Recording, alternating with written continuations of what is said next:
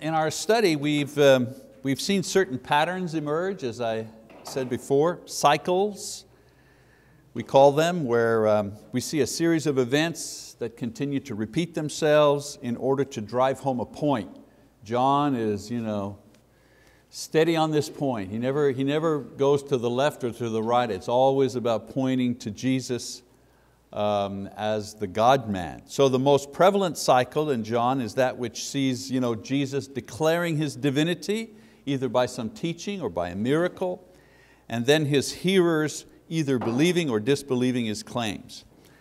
Um, now these, um, there were several uh, objectives that the repetition of this cycle seemed to, uh, seemed to aim for. First of all, to make clear Jesus' claims and actions. You, know, you, you may or may not believe it, but there is no doubt that Jesus taught and demonstrated through His power that He was the Son of God. You, you don't have to believe it. If you read the, the New Testament, if you read John, uh, you could say, you know, I, I know he's saying that, but I don't believe it. Well, okay, you you have a right to say I don't believe it, but you can't say that's not what he's doing. You know, people can choose to disbelieve and reject this notion, but Jesus' message is clear. He believed and He wanted us to believe that He was divine and He was and is, of course, the Messiah. Another objective was to um, uh, provide, uh, provide proof for the claims that he made. So John records several miracles in detail in order to support the claims of Jesus. Now some may not have believed, but he writes as one who believed strongly the proof before him. I mean, John himself, obviously, he was a believer. And then another objective was to record the reactions of the people. That the disbelief among the Jews was widespread, not just a fluke, or not just a kind of a narrow opinion. John describes the familiar scene of Jesus demonstrating great power, and then the Jewish leaders and eventually the crowds that celebrated Him turned against Him in disbelief and in anger.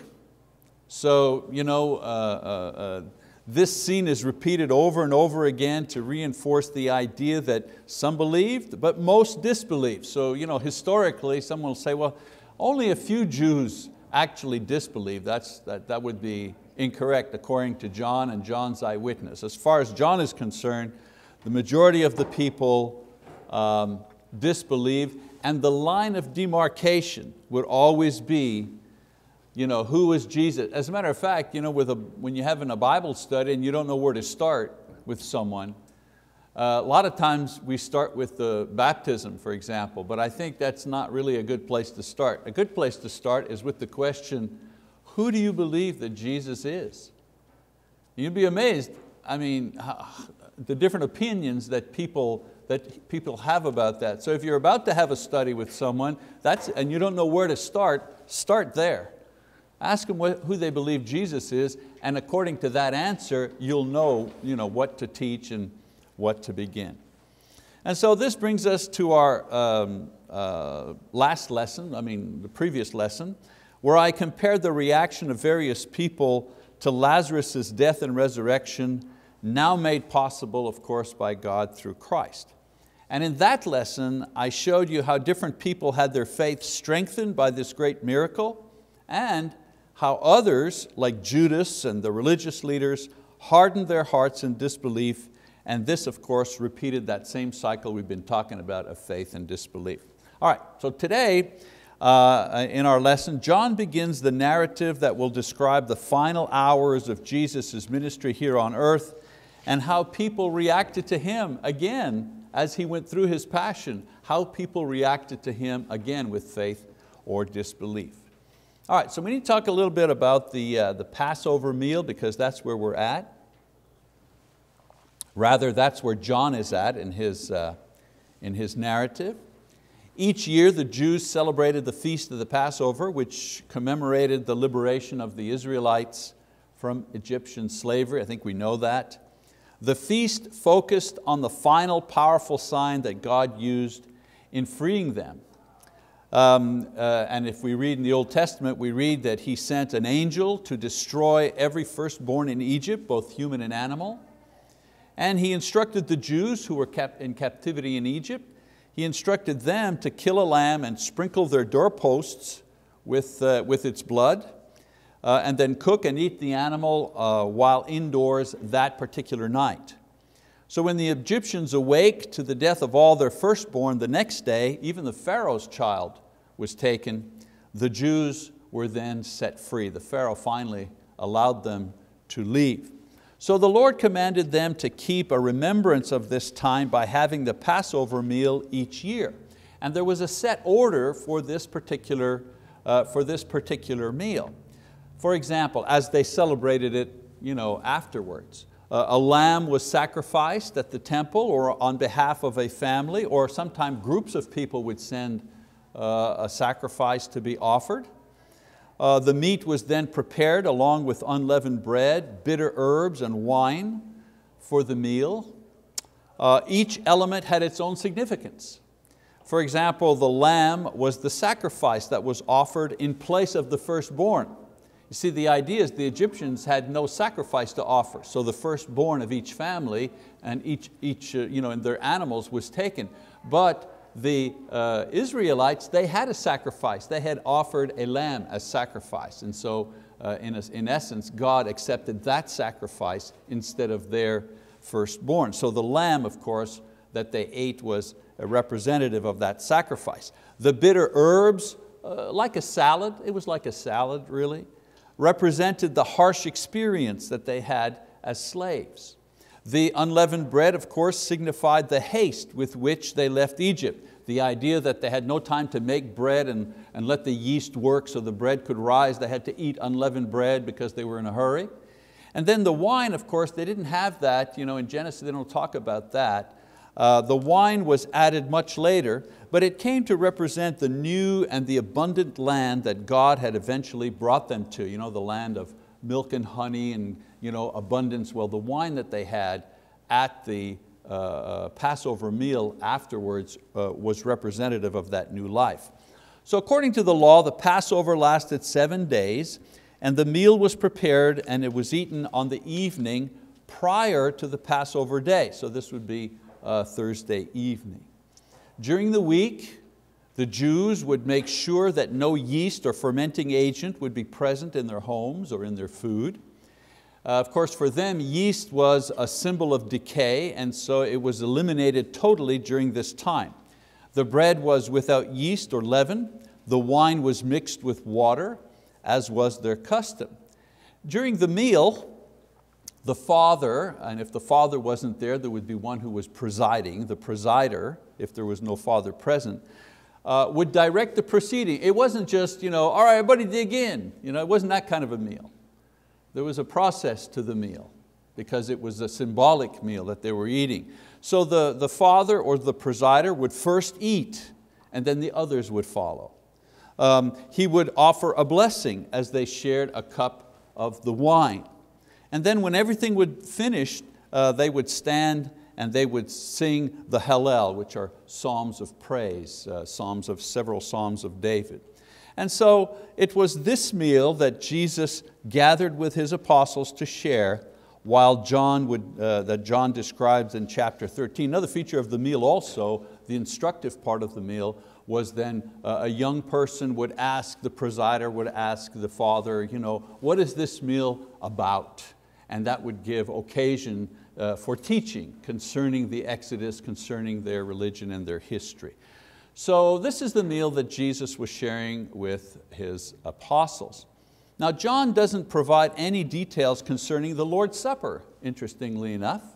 I mean, this has already been done adequately in Matthew, Mark, and Luke, and also in 1 Corinthians by Paul. John does, however, provide a lot of detail as to what was said and done that night that the others in their Gospels don't give us. So it's really interesting uh, to read John because you get all the little goings on at that particular meal. Now his description of that evening in the upper room will go on from chapter 13 all the way to the end of chapter 17. He spends a lot of time describing what happened that night. Now most of the information includes a long prayer and teaching section by Jesus to His apostles on His final night with them before His, before his death. But before He begins this prayer, however, He's going to do two important things for His apostles. First thing He's going to do is He's going to wash their feet. And so we read chapter 13, we're at the beginning, verses one to five. Now, before the feast of the Passover, Jesus, knowing that His hour had come, that He would depart out of this world to the Father, having loved His own who were in the world, He loved them to the end.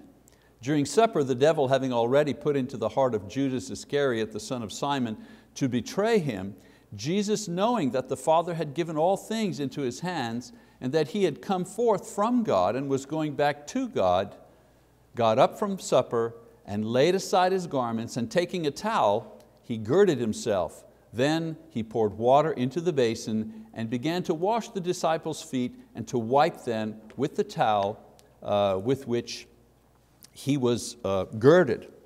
So of course Jesus was fully aware of who He was, why He was sent, that His time was near, and that you know, what kind of men His apostles were. He knew who He was dealing with. And knowing and accepting all of this, he still loved them and accepted what he was sent to do on their behalf because you know, their lack of faith and their hard-heartedness at times, you know, he's thinking, boy, I'm doing all of this for these guys? and if it was just a human being, I don't know if somebody would go out, you know, to that length of sacrifice for these men. But the Bible says that Jesus knew who they were. He understood their weaknesses, and yet He was still willing to do what He did. So even knowing that one of his apostles would betray him, even with that knowledge, he loved them nevertheless, and he humbled himself to do the thing that he was about to do.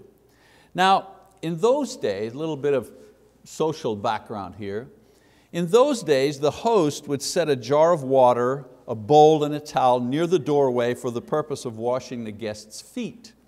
Uh, it was their version of a doormat. They didn't have doormats in those days. Usually the task was given to a slave, not any slave, usually the youngest slave or the youngest boy in the family. It was that low on the totem pole.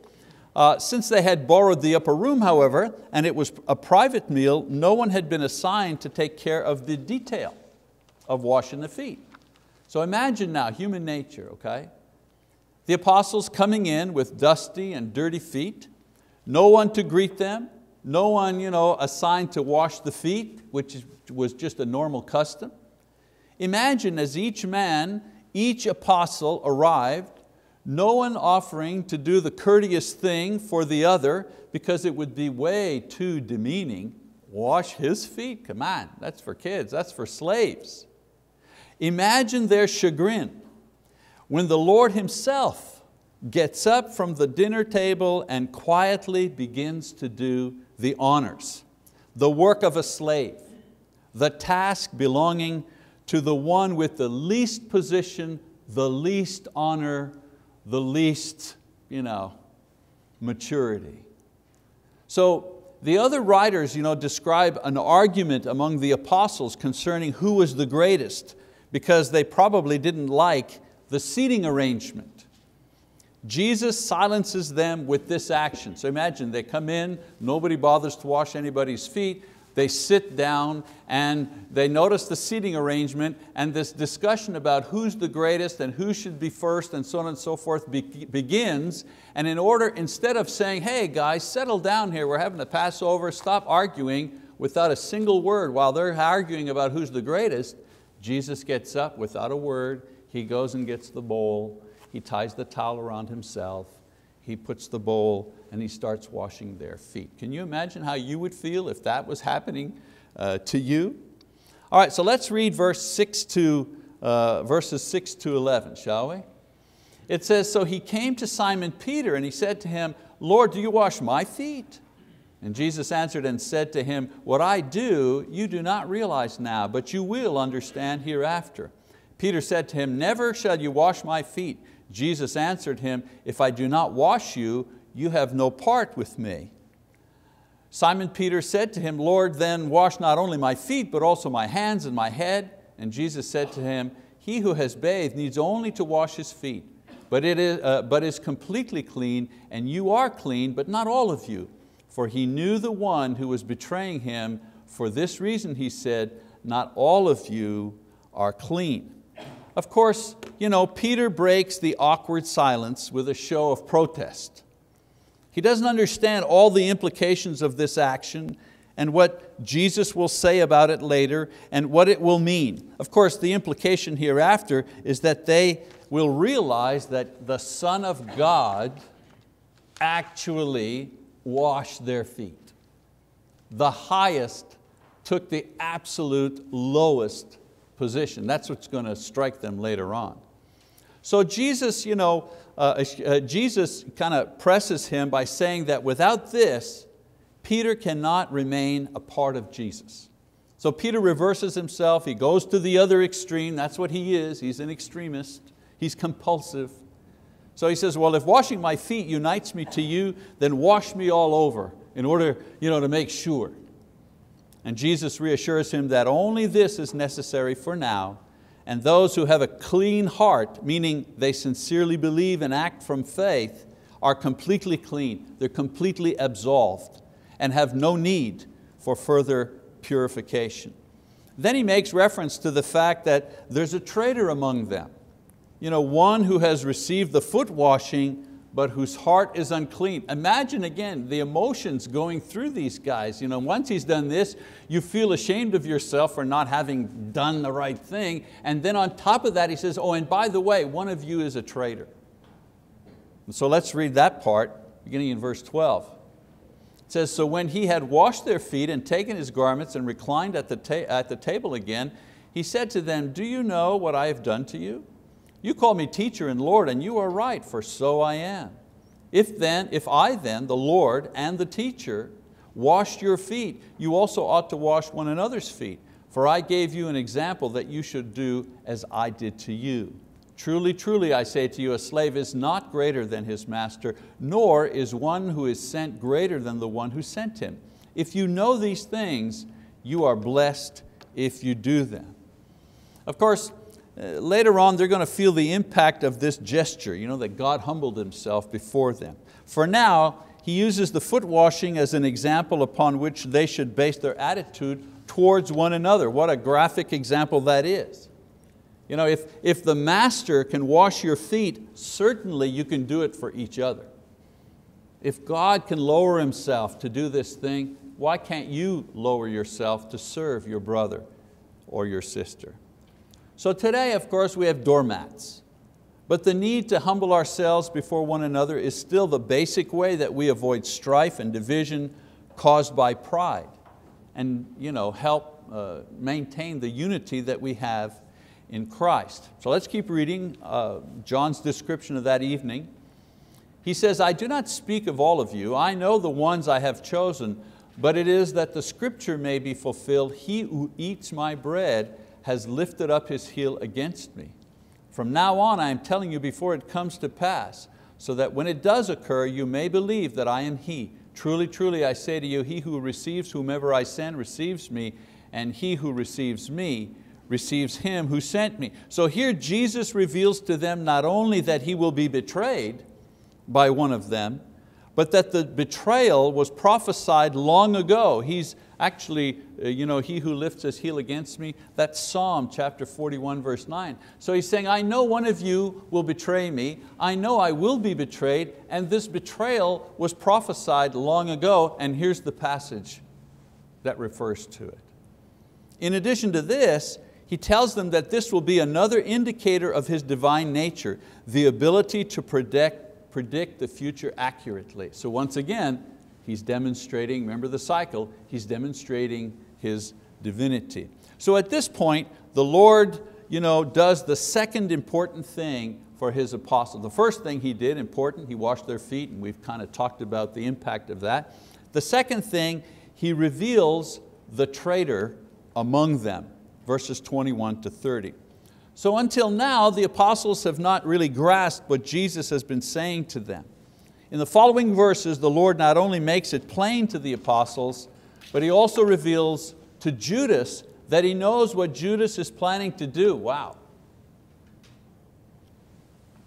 He predicts it, He knows it, He tells him that this, this thing that's going to happen was prophesied, and He points to the guy who's actually going to do it. So I want you to imagine the um, scene. Let's read uh, verse 21 here. It says, when Jesus had said this, he became troubled in spirit and testified and said, truly, truly, I say to you that one of you will betray me. The disciples began looking at one another at, at a loss to know of which one he was speaking.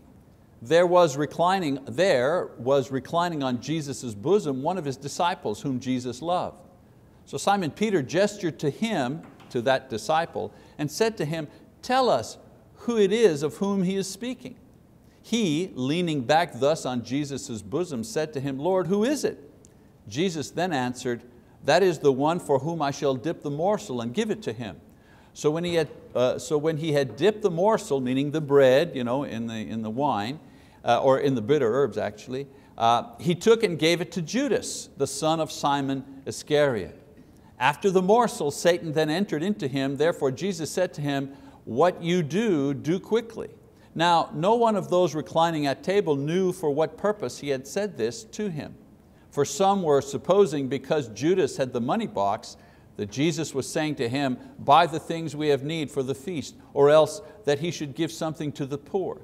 So after receiving the morsel, he went out immediately and it was night. So you need to imagine the scene here, okay? 13 men reclining on cushions around a table like a squared off U, if you wish. Uh, you know that famous painting, was it Da Vinci? You know?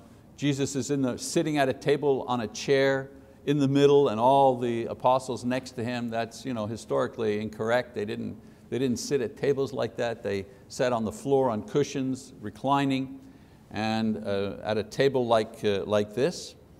So the way it worked is that the host or the organizer of the dinner sat at the head of the table and the head of the table was at one extreme end there where you see, where it says John, okay? So he could protect and serve the honored guest or the presider. The honored guest would then sit next to him and then the guest would assign seats around the table, usually in order of status, the oldest to the youngest, perhaps the most important or whatever, if, if there was rank, so on and so forth. Now, remember, let's go back. There was complaining among the apostles about who was important. Remember, that was their discussion when they came in and sat down. It seems that John and Peter organized the dinner. We know that from Luke chapter 21. Jesus said to Peter and John, go you know, prepare the room, prepare the upper room, okay? And it seems that they had hoped to take the coveted spots next to Jesus. So John, as the host, in the very first seat, with Jesus to his left as the guest of honor, followed of course by Peter, the leader, and then the other apostles you know, doing the best they could. Probably Judas would be sat last at the other end since they knew that he was a thief and he was untrustworthy. Well, things you know, started as planned with John taking the first spot, we know this because he leaned his head on Jesus, so he had to be next to him. Jesus, of course, in the honored position, which no one contested. But then John tells us three important facts. Number one, when washing their feet, he came to Peter last. And then when speaking to John, Peter had to gesture to get his attention. And then Jesus spoke and handed the morsel directly to Judas. So therefore Judas couldn't be sitting at the other end because Jesus handed him the morsel. You know? He was within range. This means that Judas was next to the Lord and Peter sat at the end of the table. Perhaps when assigning seats, Jesus placed Judas next to him because he knew what was to come. And Peter, I mean, knowing his character, in a fit of pique, pouting, you know, went to sit as far away as he could. This certainly explains his behavior when Jesus came to him with the water and the towel to wash his feet. Now much of the evidence points to this scenario. In any case, Jesus forces Judas's hand without any of the others knowing what had taken place. He's, he's talking right next to him. The idea that Satan entered him is not to suggest that Judas was demon possessed. Some people talk about that. And you know, he was demon possessed, so he wasn't responsible for his action. This reference indicates when Judas finally gave in fully to the temptation. When you give fully into the temptation, then Jesus is no longer the one animating you, directing you. Satan is the one directing you. He's the one that's taking care of you. So Judas was no longer under the influence of Christ. He had completely given himself over to the sin that he was about to commit. Therefore, Satan was now controlling him. And of course, as a way of saying this, you know, uh, uh, uh, Jesus or John says, you know, Satan entered him. The idea of now, now Satan is in control. He's, he's driving the show as far as, um, as, far as uh, Judas is concerned. Well, we're going to kind of stop right here because the next section begins Jesus' last prayer and exhortation for His apostles before He's killed and it's a kind of a long section, so I'd like to start it at the beginning, okay? Now, even though the Lord's Supper is not described here, this passage does provide lessons that are usually found in those passages where the Lord's Supper is found. For example, one lesson, you're wondering, huh, seating arrangement, so on, and so, what lesson can be drawn? Well, one, uh, one lesson that we can draw is a servant is really not above his master, really. I mean, if we choose to follow Christ, we have to follow Him in all of His ways, not just some. So if He was willing to wash feet before the communion, so must we. And I'm not talking about before the Lord's Supper, we have to go around washing people's feet. In other words, if He was willing to humble Himself, so should we. Otherwise, we don't belong at the table. You know, when Peter, when, uh, uh, not Peter, but uh, Paul is talking in 1 Corinthians that we need to examine ourselves, what do you think he's, he means? Examine yourself before you take the communion. Are you in the spirit of Christ, ready to take that communion? Do you, do, you know, do you have a grudge against somebody? You mad at somebody? You know, before you take the communion, might be a good thing to humble yourself and make the decision, you know what, I'm going to make that situation right. So that's, you know, a servant is not above his master. You know, Jesus didn't have to repent of sin. Obviously, he had no sin. But to humble himself, remember he was a man, fully man. And as a man, the Lord and the teacher of those 12 guys, to humble himself to wash their feet, especially the guy who was going to betray him, took quite an act of humility. So he's saying, hey, if I did it and I didn't have to do it, certainly you can do it because you're, you know, you're, neither are you Lord and neither are you guys master or, or teachers. And then another lesson that's there, very you know, driven home, is that a servant should examine himself or herself, as I was saying. If Judas would have examined his heart full of disbelief and greed, he might not have fallen into the total control of Satan. He could have whispered to Jesus, he was right next to him, Lord, help me. He could have whispered. No one else would have known. Lord, help me. I think in my own prayers, if I, if I were to try to you know, uh, highlight the words I use the most in my, in my prayer life, know, like they do sometimes, there's a computer program that'll show you which words you use the most often in letters and so on and so forth. The two words that I use the most are help and thanks. Help and thanks. If Judas, if Judas would have just said, Lord, help me. I, am I'm, I'm not where I need to be. Ah, I know the others believe, but my faith is weak. Help me. You think Jesus would have, you know, refused that? You know, when the Lord hands us the communion bread, let's make sure it's not an accusation of infidelity and hypocrisy like the morsel that he handed to Judas. You know, he takes the bread it's the Passover and he hands it to Judas. Is it, is it the bread that he's taking for the Passover meal or is it the bread of infidelity? Is it the bread of accusation? So, you know, let's be sure uh, that our hearts are right before we sit to eat with the Lord at communion time and we're not sitting in Judas's seat. We don't want to sit in his seat. He was in a position of honor next to the Lord. So before the other apostles, that's what probably they were complaining about. What's this guy doing next to the Lord? You know, I'm not, surely I'm better than that guy. He's a thief. Doesn't the Lord know this guy's a thief? Does, have we not said that sometimes about other people? Lord, look, this person here, how come they're getting away with it? And you know, all I get is you know, trouble and grief. Yeah. So Jesus knows our heart. And so there's no use being uh, mm, deceptive with Him or coy or trying to hide stuff. You know? The best way, I, I always say that the best strategy with the Lord, throw yourself at His mercy. That's the number one strategy for me. I just throw myself at His mercy because I can count on His mercy.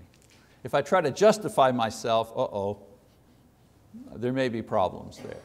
All right, so that's, you know, we, we've brought it to the end of the foot washing incident, Judas, so on and so forth. Uh, a little bit of uh, background about what happened there. Next time we're, we're going to get into the actual prayer itself. It's a long prayer, so I'd like to start fresh with that. All right, that's it for this lesson, lesson 22.